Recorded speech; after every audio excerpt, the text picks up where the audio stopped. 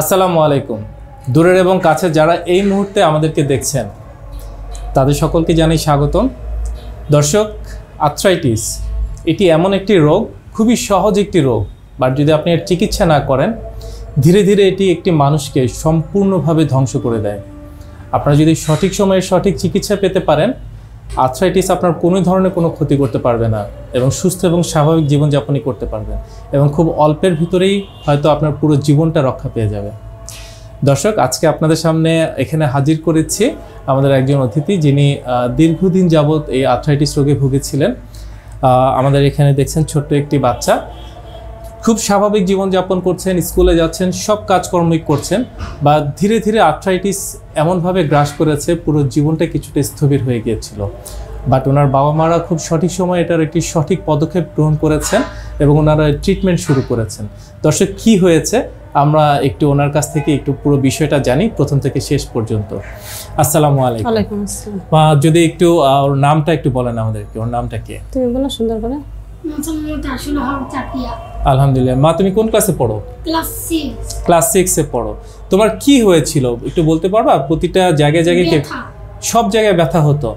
আচ্ছা অনেক দিন থেকে এই ব্যথাটা সেই ব্যথার জন্য কি খুব বেশি কষ্ট হতো? পড়াশোনা ঠিক মতো করতে পারতে না? করতে পারতে? খুব কষ্ট হতো সারাক্ষণই আম্মুকে সারাক্ষণ বলতে যে আমার পুরো শরীরে ব্যথা করছে এখানে ব্যথা করছে ওখানে ব্যথা করছে। হ্যাঁ। খুব কান্নাকাটি করতে? আম্মু ওষুধ দিত তোমাকে? ডাক্তারের কাছে নিয়ে যেত? আচ্ছা। দর্শক, আমরা একটু ওনার মায়ের সাথে একটু পুরো বিষয়টা একটু কথা বলি। কি হয়েছিল প্রথম থেকে শেষ পর্যন্ত? যদিও এখানে ওনার বাবাও আছেন, আমরা সবার সাথেই কথা বলব। আমরা আজকে যে পজিশনে আছি, এটা হচ্ছে যে এখন ট্রিটমেন্ট চলাকালীন অবস্থায় হাফ ডান অবস্থায় আছেন, মধ্যবর্তী অবস্থায়। কি হয়েছে আমরা একটু জানি। আসসালামু আলাইকুম। ওয়ালাইকুম আসসালাম। মা আপনাদের দেশে বাড়ি কোথায়? আমাদের দেশের বাড়ি দিনাজপুর বীরগঞ্জ। আচ্ছা ওখানেই তো থাকেন? ওখানেই থাকি। আচ্ছা কি হয়েছিল এবং কতদিন আগে যদি একটু বলেন? ওর যখন ছয় বছর। তখন হঠাৎ করে একদিন আসে আমাকে বলল যে আম্মু গিরালিটা ব্যথা করতেছে। আচ্ছা। তখন থেকেই এই একটা গিরালি করতে করতে আমি হালকা পাতলা ওষুধ আনে খাওয়াই ব্যথা কমে যায়। আচ্ছা। তখন হচ্ছে প্রাথমিকভাবে কোনো ডক্টর বা কাউকে দেখিয়েছেন? ওখান থেকে আমি ওষুধ আনে খাওয়াবো আমরা বেশি দিন আর দেরি করি দশ বারো দিনের মধ্যে আমি একটা ভালো অর্থোপেডিক্স ডাক্তার দেখাইলাম। ওকে রংপুরের নাম বাচ্চা কেন ব্যথার কথা হ্যাঁ। বলছে বারবারই বলছে? নাম নাম করা একজন ডাক্তার উনি আমি ছিলাম যে উনি আমাকে চিকিৎসা দিবে। কিন্তু ওনার কাছে নিয়ে যাওয়ার পর উনি হচ্ছে বলল যে সবকিছু দেখল পরীক্ষা করাইলো ই করাইলো কোনো সমস্যা নাই। এখন আচ্ছা। যেমন হাত পুরো একটু ইয়া হয়ে গেছে তখন এগুলো কোনো সমস্যা ছিল না বলতেছে বাসায় নিয়ে যান ওর কিছুই হয়নি। আচ্ছা। তখন যদি আমাকে একটা উনি ভালো একটা শিওরের ট্রিটমেন্ট দিত হয়তো আমার এত না। পরীক্ষা নিরীক্ষা করতে হ্যাঁ উনি বলল বাসায় নিয়ে যান কিছুই হয়নি। ওকে। তখন এমন করতে করতে ছাড়ে দিলাম আমি। কোন ওষুধ দিয়েছিলেন? একটু দিছিল হালকা পাতলা আচ্ছা, আমিও মনে করলাম তো তেমন কিছু না তখন তো আমার এগুলো বিষয় অজানা। যেহেতু বিশেষজ্ঞ আপনাকে বলেছেন হ্যাঁ, তেমন কিছু হয়নি আপনারা সেটা বিশ্বাস করেছেন। হ্যাঁ, বিশ্বাস করেছি। অনেক ওখানে কিন্তু খুব উনি নাম করা ডাক্তার। ওকে। তখন হচ্ছে চলে আসলাম বাসায় করে করে আমি না তারপর দেখি ব্যথা কমে না। এটা আস্তে আস্তে ব্যথা করতে প্রতিটা জয়েন্টে ব্যথা ধরে গেল। আচ্ছা। পা ফুলে যাচ্ছে এই ফুলে যাচ্ছে এইভাবে আচ্ছা। করতে করতে ওর স্কুলেও আস্তে আস্তে যাওয়া কমে গেল। আচ্ছা। তখন হচ্ছে আমি এক দেড় বছর পর্যন্ত আবার হোমিও চিকিৎসা করলাম। ওকে। হোমিওতে কোনো না হোমিও আমি কোনো উপকার পাইনি। ওকে। এভাবে কিন্তু দেখছেন ধীরে ধীরে অবস্থা খারাপ হয়ে এক একজন যে যেটা আমাকে বলছে আমি সেই জায়গায় ওকে নিয়ে গেছি। আমি টাকার দিকে তাকাইনি। হুম হুম হুম যেহেতু বাচ্চার বিষয়ে হ্যাঁ, আমরা আমি টাকার দিকে আরও ছোট কাল থেকে এখন তো দেখো বারো বছর পার হচ্ছে ওর। হ্যাঁ হ্যাঁ কাল আরও থেকে ছয় বছর থেকে রোগটা ও- ওকে একে ধরে ই করে আচ্ছা।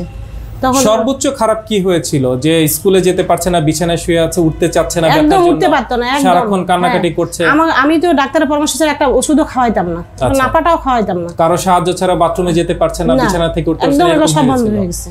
তো নিজের চোখের সামনে সুস্থ বাচ্চা স্বাভাবিক বাচ্চা যে হ্যাঁ। স্কুলে যাচ্ছে সব কাজ করছে এখান থেকে এখানে যাবে আম্মু আমাকে ধরো আমাকে কুলে না এখান থেকে এখানে যাবে।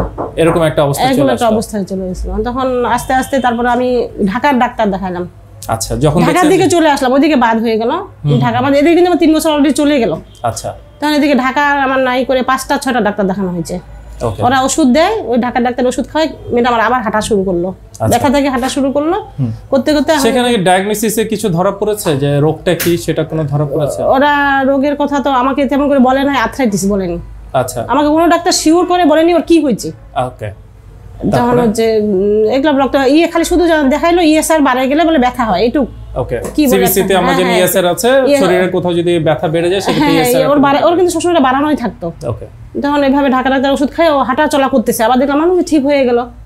যখন নাকি ওষুধ একটু একদিন যদি আমি না খাওয়াচ্ছি আবার আমার মেয়ে বসে আবার ব্যথা। বেড়ে যাচ্ছে। আবার ব্যথা এমন করতে করতে এক ডাক্তার ছয় মাস আর ধৈর্য ধরে না। আবার এমন করতে করতে ডাক্তার একটা দুইটা তিনটা চারটা পাঁচটা ছয়টা ডাক্তারও হয়ে গেল।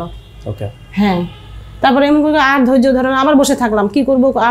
আমি এই স্যারের ঠিকানা কিন্তু তিন বছর আগেও পাইছিলাম।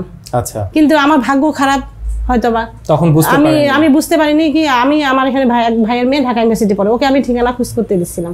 আচ্ছা। তো ও খুঁজে বাই করতে পারেনি। ওকে। ওই পরিবর্তে তখন অন্য আরও ডাক্তার দেখাই। আচ্ছা।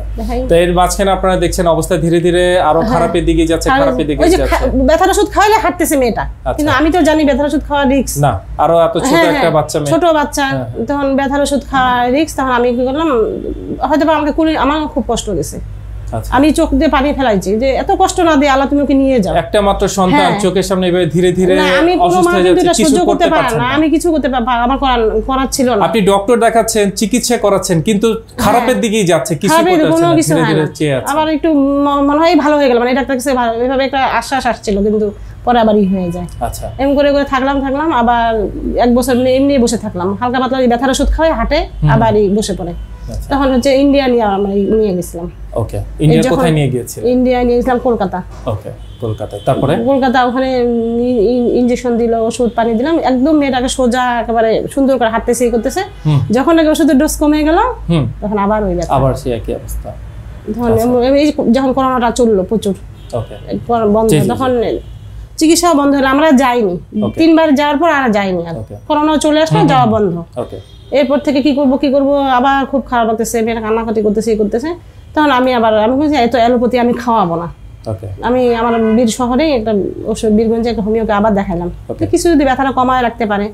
হুম, হুম। হোমিওতে একটু সাইড এফেক্ট শেষ চেষ্টা করা। হ্যাঁ। যে যে- যেভাবে বলছে সেভাবে হ্যাঁ। একটু চেষ্টা করি। আর কবিরাজ তো বাদ নাই। সব যত রকম আছে। যত রকম টাকা পয়সা কোন দিক দিয়ে আসবে চিন্তা করতে হয়নি। আমি বাহির করে দিছি। হুম, হুম, আব্বুকে আমি বাহির করে মেয়েকে সুস্থ করতে হবে। আগে নিজের মেয়েকে সুস্থ আমাকে সুস্থ করতে হবে। কিন্তু তারপরেও তো আল্লাহ এইভাবেই তারপরে সেই অনুযায়ী আপনারা একটা সময় ডক্টর মোহাম্মদ শফিউল্লাহ প্রধান হ্যাঁ হ্যাঁ এই এই যে হোমিও খাওয়াই দেখাইতে মনে করেন হোমিও- খাওয়াই কিন্তু আমি এখানে নিয়ে আসছি। আচ্ছা তারপরে যখন স্যারের কাছে প্রথম নিয়ে আমি- স্যার যখন দেখে দেখার পর আমি আগেই যোগাযোগ করছি স্যারের সাথে। ওকে প্রেসক্রিপশন দিয়ে পাঠাইছি যে মেয়েকে তো আমি আনতে পারব না অত দূর থেকে। স্যার যদি কিছু ওষুধ দেয় ওটা খাওয়াই আমি নিয়ে আসব। ওকে স্যার ব্যথার ওষুধ দিছিল।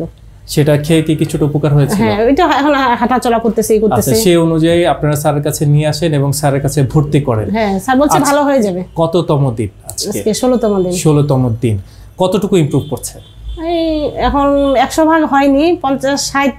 ষাট ভাগ? হ্যাঁ, ষাট ভাগ। এখনও ওনার ট্রিটমেন্টটা চলছে। আমরা জানি যে এখন পর্যন্ত আমাদের বিশ্বাস আছে আর কিছুদিন থাকলে ভালো হবে এটা আমরাও বিশ্বাস করি।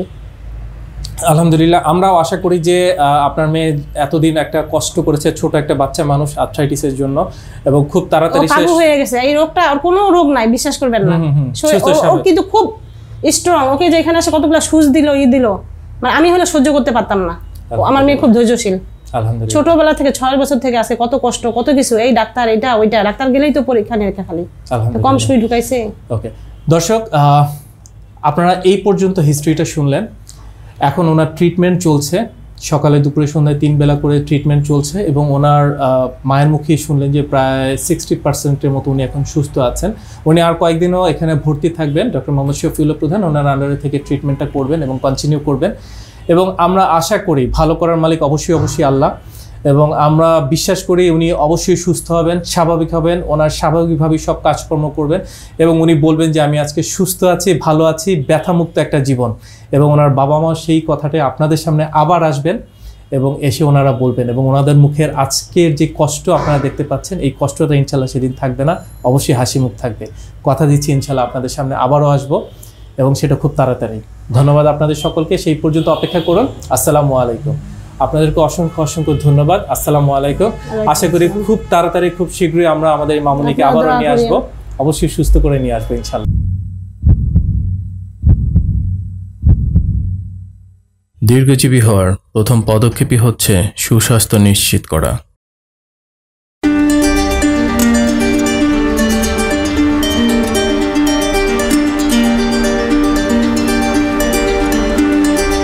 দেহ ও মন ভালো থাকলে ভালো থাকে স্বাস্থ্য।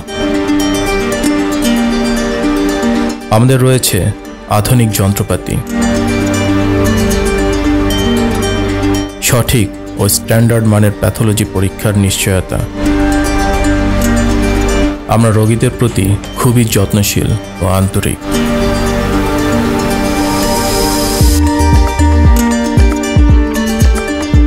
আমরা সর্বপ্রথম প্রতিটি রোগীর সঠিক রোগ নির্ণয় করি, এরপর রোগ অনুযায়ী অপারেশনবিহীন চিকিৎসা দিয়ে থাকি।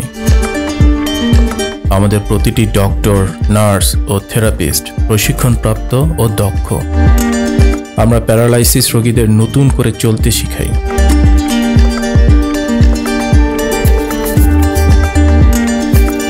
আমরা আপনাকে সর্বোচ্চ মানসম্মত আধুনিক চিকিৎসা সেবা প্রদানের নিশ্চয়তা দিচ্ছি।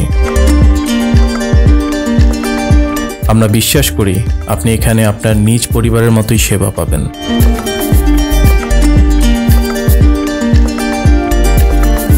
বাত ব্যথা প্যারালাইসিস ও আর্থ্রাইটিসের একটি নির্ভরযোগ্য প্রতিষ্ঠান।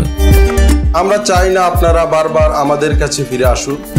তবুও আমরা আছি সবসময় সর্বদা আপনাদের পাশে TPRC hospital and diagnostic lab limited. আস্থা বিশ্বাস ও নির্ভরতায় অবিচল।